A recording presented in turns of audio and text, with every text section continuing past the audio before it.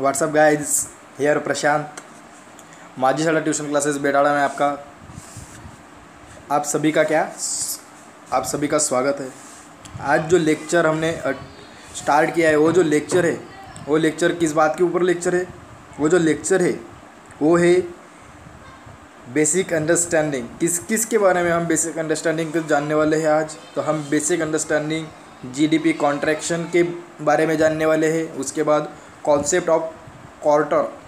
ये क्या होती है कॉन्सेप्ट ऑफ क्वार्टर क्या होती है कि कितने एक साल में कितने क्वार्टर होते हैं ये सब हम जानकारी कहाँ पर देखेंगे आने वाले स्लाइड्स में देखेंगे उसके बाद हम क्या देखेंगे तो देखेंगे इकरा यानी ये क्या होती है और इसका वर्क या फंक्शन क्या है ये सब हम बातें जानेंगे तो चलो लेक्चर को देखते ही देखते शुरू कर लेते हैं अपन तो जो हमारा फर्स्ट टॉपिक है वो क्या है यहाँ पर देखो तो हम फर्स्ट जीडीपी कॉन्ट्रैक्शन को क्या स्टडी करेंगे उसके बाद कॉन्सेप्ट ऑफ क्वार्टर को स्टडी करेंगे और उसके बाद इकरा को स्टडी करेंगे चलो देखिए आगे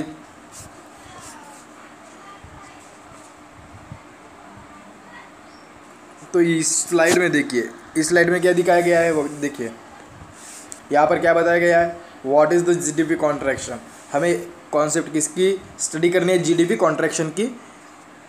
कॉन्सेप्ट को क्या करना है समझना है तो देखिए यहाँ पर क्या बोला गया क्या बोला गया है कि an economic contraction is a decline in national output as measure by gross domestic product okay क्या बोल रहा है डिक्लाइन हो रहा है क्या डिक्लाइन हो रहा है नेशनल आउटपुट और ये नेशनल आउटपुट हमें कहाँ से पता चलता है तो ये जो पता चलता है हमें जीडीपी से पता चल रहा है उसके बाद क्या हो रहा है यहाँ पर डिक्लाइन इन फॉलोइंग फैक्टर्स और नेशनल आउटपुट आउटपुट पे क्या हो रहा है डिक्लाइन तो हो रहा है उसके साथ साथ और किस और कौन कौन सी चीज़ों में फिर कौन कौन सी चीज़ों में क्या हो रहा है कि डिक्लाइन हो रहा है उसकी वजह से हम उन सभी को क्या बोलते हैं जीडीपी कॉन्ट्रैक्शन बोलते हैं तो उस उसमें कौन कौन से फैक्टर्स आ रहे हैं there are factors are included such as real personal income industrial production and retail sales such Type of factors are included in where the GDP contraction okay and these are decline in decline in phase okay then we are say as we are say as GDP contraction now see what is the consequences of the GDP contraction the consequences of the GDP contraction is increase unemployment rate okay are you understand why why this is the consequences are occurred see here real personal income is decline okay industrial production is also decline why industrial production is a decline to lead the real person income decline and real person in and industrial production is also decline then the retailer sale obviously decline next a contraction is caused by loss in a confidence confidence that slow demand okay such a theory is that I don't remember the name of the of that the, of that theory uh, the theory theory but he say he says that when we continuously pro we continuously production of some product production of some product then the demand is demand is automatically increase then the government of india now need to produce about products domestic products जज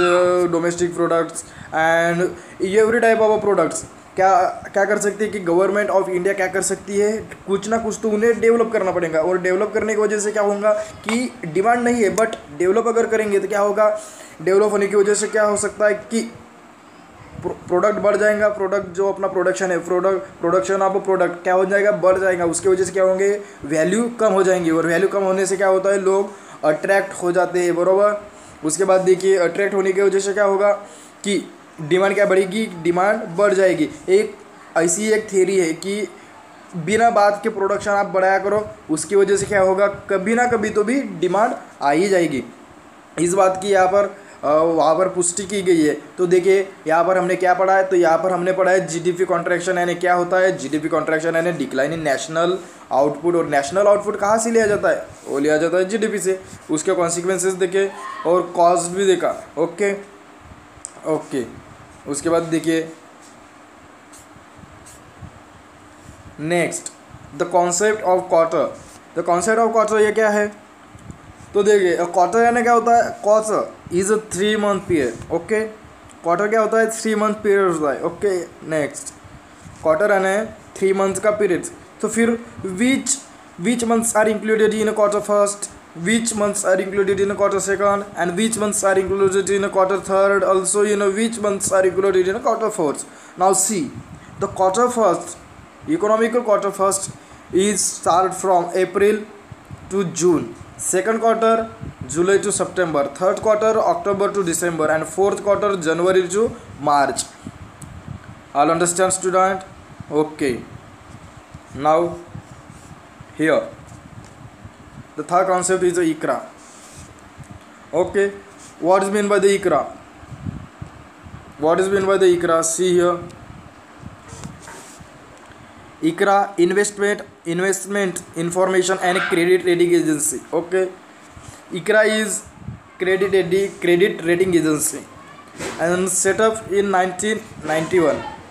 Work as a rating agency, denominate debt obligations, status public company. Originally name capital I, capital C, capital R, capital E means investment information and credit rating agency of india limited next here why we are uh, interested in uh, why we are interested in learning ikra the one reason is that we are interested in learning ikra means ikra means what investment credit and investment credit and rating agency okay investment investment information and credit rating agency तो इकरा इकरा ने क्या किया है कि estimate किया है क्या estimate किया है quarter first first year of 2021 क्या कौन सा quarter first first year of 2021 का जो क्वार्टर होगा क्वार्टर वन कहाँ से कहाँ चालू होता है अप्रैल जून जुलाई ओके ये जो क्वार्टर होगा वहाँ पर जीडीपी कॉन्ट्रैक्शन कितना होगा 11 परसेंट ओके यानी कि माइनस इलेवन तक की इलेवन परसेंट रह सक इलेवन परसेंट तक रह सकता है उसके बाद इन्होंने क्या कहा है कि could be could be even worse उससे भी